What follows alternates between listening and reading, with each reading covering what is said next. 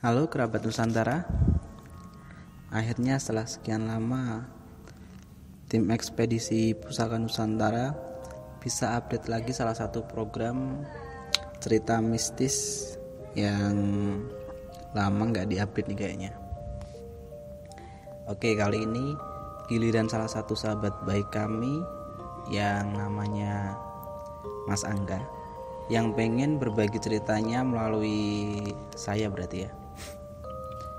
Oke, langsung aja nih kayaknya. Judulnya Astral Projection dan melihat keris gaib.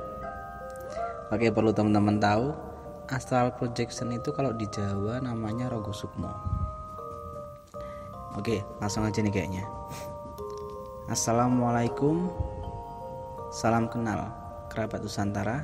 Nama saya Angga Semenjak kelas 2 SMP, saya memang terbiasa puasa sunnah, baik Senin Kamis atau puasa netu. Kemudian berlanjut sampai di kelas 3 SMA. Dan sewaktu uh, di SMA, mulai ada hal-hal di luar nalar yang mewarnai perjalanan hidup saya.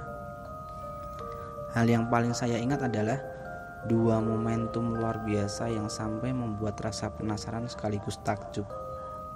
Tentunya rasa takut dan merinding selalu datang tiap kali mengingatnya. Pernah di suatu malam saat saya tertidur pulas antara tapi antara sadar dan tidak, saya merasa tubuh serasa ringan-ringan sekali. Lalu sontak saya kaget karena saya bisa melihat tubuh saya sendiri sedang terbaring di tempat tidur. Di satu sisi saya sadar tubuh saya melayang, tapi tidak bisa digerakkan. Akhirnya dengan batin yang kuat, kemudian bisa jalan ke sana kemari sesuai keinginan batin. Seiring berjalannya waktu, hal itu justru sering terjadi. Berangkat dari pengalaman itu, hati semakin penasaran. Akhirnya saya tanya ke salah satu uh, keluarga kakek ya lebih tepatnya dari keluarga bapak. Tapi jawaban kakek justru semakin membuat penasaran. Waktu itu saya tanya mengenai pengalaman saya uh, melayang itu sambil senyum kakek cuma menjawab ora popole dinikmati wae. Dalam bahasa Indonesia tidak apa-apa nak, dinikmati saja. Oh iya, saya juga pernah menjalankan puasa mutih dari tiga hari, lanjut tujuh hari, kemudian lanjut ke 21 hari. Mau menjalankan yang ke-41, hati sudah tidak kuat, jadi terpaksa saya hentikan.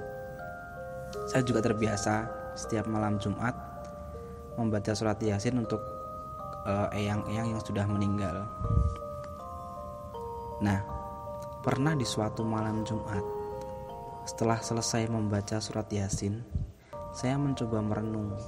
Tiba-tiba di depan mata saya muncul hal di luar nalar lagi.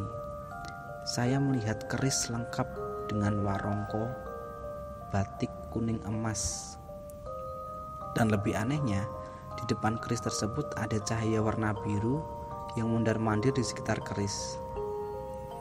Ya karena kurang paham, saya hanya bisa diam dan takjub melihat peristiwa itu.